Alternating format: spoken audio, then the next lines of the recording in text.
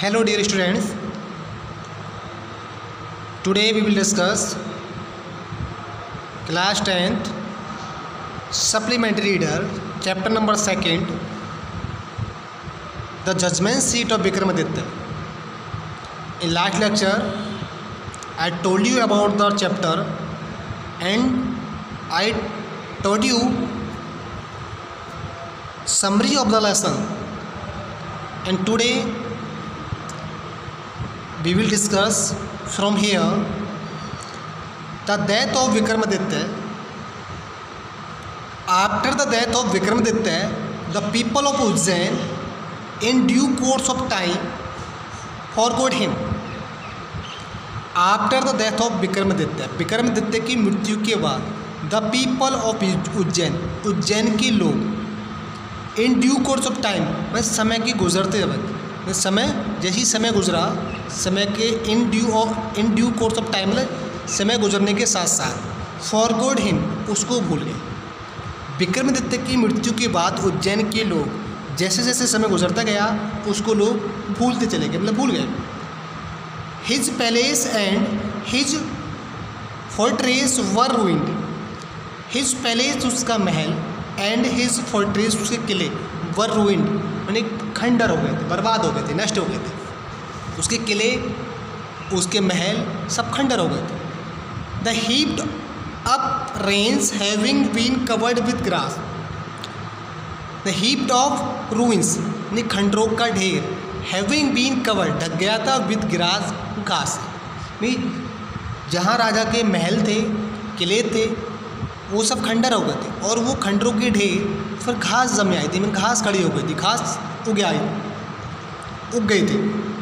Dust and trees और उसमें धूल हो गई थी एंड ट्रीज बड़े बड़े पेड़ खड़े हो गए थे।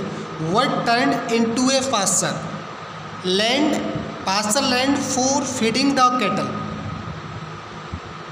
वे जो खंडरों के ढेर थे, उन पर घास जमाई घास उगाई और बड़े बड़े पेड़ उगाए और वो जगह एक पास्टर लैंड में पास्टर लैंड में हरी घास के मैदान में बदल गया था। फॉर फीडिंग द कैटल, पशु के चरागा के रूप में बदल गया था। खंडर पे क्या थी? घास हो गई थी, पेड़ उगाए थे और वहाँ के लोग उन पर पशु चराते थे। वो पशु चराने का मैदान हो गया जिसको बोलते हैं चरागा। The village people use to send their cows out to these pasture pasture to graze the village people गाँव के लोग यूज़ टू सेंड भेजा करते थे देयर काउज अपने गाँव को आउट टू दिस पासर इस पासर मतलब इस सरागा में टू ग्रे चरने के लिए। और गाँव के लोग अपने गाँव को चरने के लिए उस घास के मैदान में भेज देते थे, जहाँ पहले कभी राजा के महल और किले हुआ करते थे।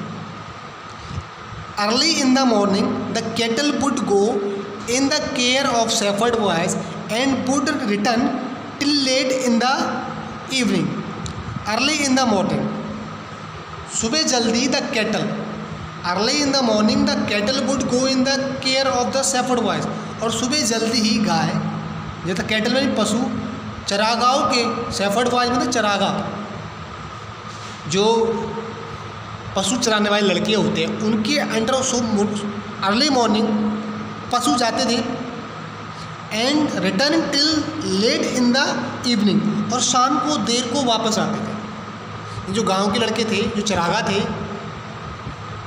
पशु चराने वाले लड़के थे, उनके अंडर उनके केयर में सुबह जल्दी ही पशु भेज दिए जाते थे और लेट शाम तक वापस आते थे। When it was time to return a shepherd boy would call out from the edge of the pasture when it was the time to return जब घर लौटने का समय होता था, मैं पशुओं को जब घर लौटने का समय होता था, इस सेपर्ड बॉय एक गृहणी के लड़का मतलब एक पशु चराने वाला लड़का वुड कॉल आउट बुलाता था फ्रॉम द एक किनारे से और द पास घास के मैदान घास के मैदान से खड़े हो, घास के मैदान के किनारे पे खड़े होकर एक घर, एक चरागा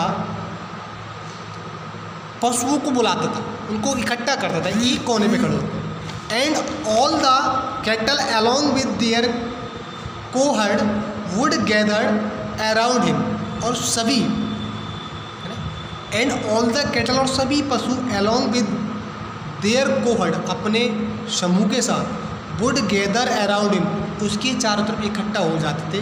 And together they would turn homeward और वे सभी एक साथ घर को वापस चलने शुरू हो जाते थे। जैसे शाम को घर आने का समय होता था पशुओं को वापस लौटने का समय होता था। तो एक लड़का घास के, जो तो घास का मैदान था, फास्टर का कोना था, उस कोने पे खड़े होकर उन सभी पशुओं को कॉल करता था, बुलाता था। और सभी पशु अपने झुंड के साथ उस लड़कों के, लड़के के चारों तरफ़ इकट्ठा हो जाते थे और फिर वहाँ से घर की ओर चलने पड़, चल पड़ते थे। Such was the life of the shepherd boys in the village about Ujjain such was the life. और ऐसी उनकी ज़िंदगी थी। Of shepherd boy. उन चरागाहों की, इन द विलेज गाँव में अबाउट उज्जैन। उज्जैन के गाँव के लड़कों की ज़िंदगी सिर्फ़ कुछ ऐसी थी। वो रोज़ सुबह पशुओं को चरागा मतलब चरागा के मैदान में ले जाते थे। और शाम को वापस ले आते थे। ये उनकी ज़िंदगी ऐसे चल रही थी। There were many of them and in the and in the long days on the pasture they had plenty of time for fun they are many of them वे काफ़ी लोग थे। There are many of them उनमें बहुत से थे। And in the long days और लंबे समय से ऑन फास्टर उस घास के मैदान में they had plenty of time of fun वे बहुत ज़्यादा समय अपने खेल कूद में बिताते थे। वे सुबह चले जाते थे और शाम को वो आते थे। जो उस दौरान के बीच का समय होता था काफ़ी, उस समय को वो खेल कूद कर गुजारते थे काफ़ी आनंद करते थे।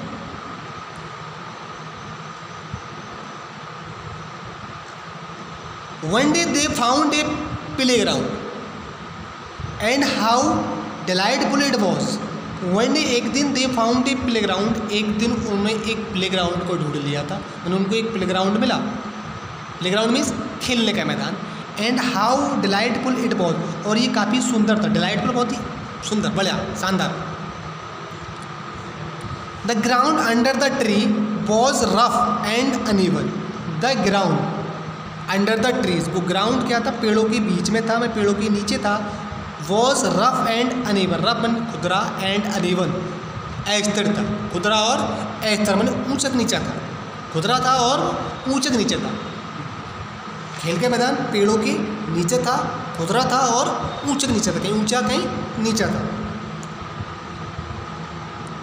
Here and there the ends of great stone peep out here and there इधर उधर।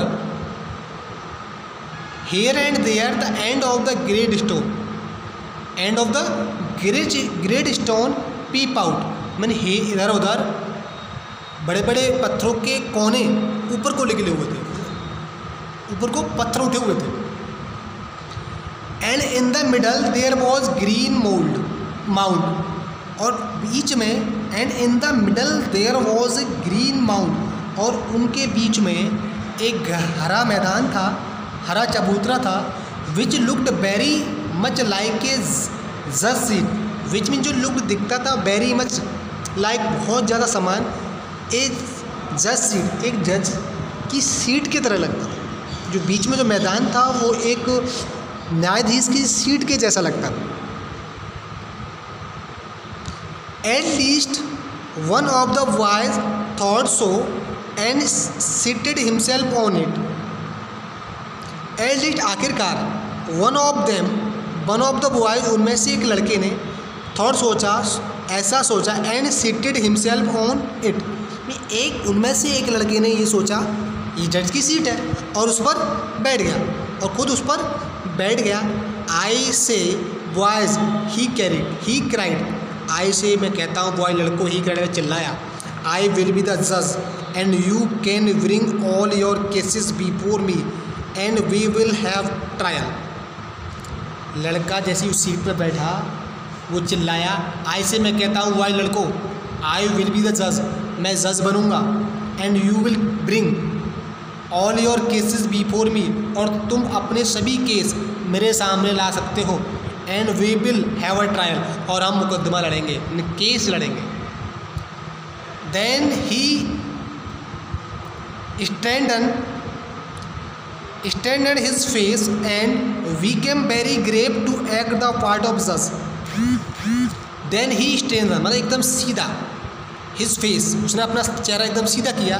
And B came very grave और बहुत ज़्यादा गंभीर हो गया to act the part of जज to act the part of जज जज के पार्ट को एक्ट करने के लिए परफॉर्म करने के लिए एकदम वो सीरियस हो गया।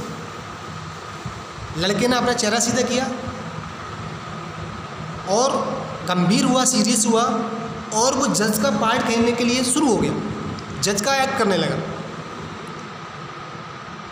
तो ओके स्टूडेंट्स आज की वीडियो में इतना ही। इससे आगे हम आगे अध्ययन करेंगे।